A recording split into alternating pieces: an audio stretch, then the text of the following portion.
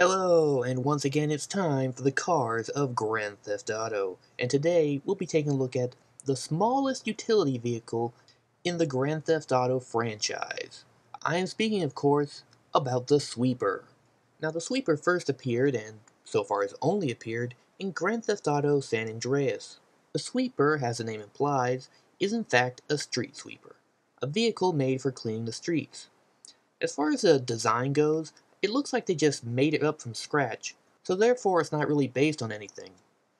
Well, anything that I know of anyway. Now, as far as the performance goes, it's pretty pitiful.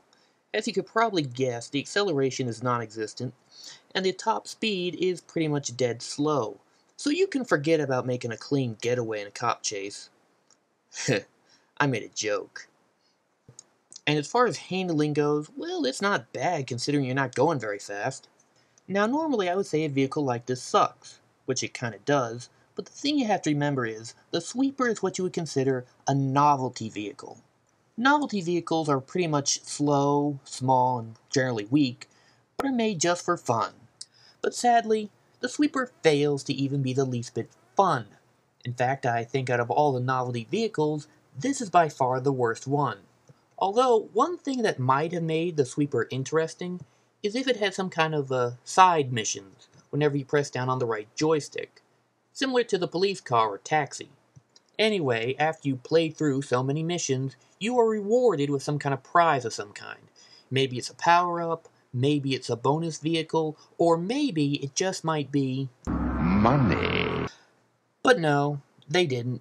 No side missions. Which is too bad because it might have been a redeemable quality of the Sweeper. Sadly, the Sweeper fails as a vehicle, and it fails even more as a novelty vehicle. Bottom line, this thing sucks.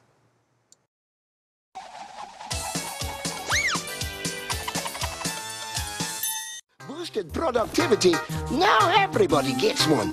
Let's go! There's work to do! Hold it, moles. The first job is cleanup. Being productive is cool, but don't trash the environment.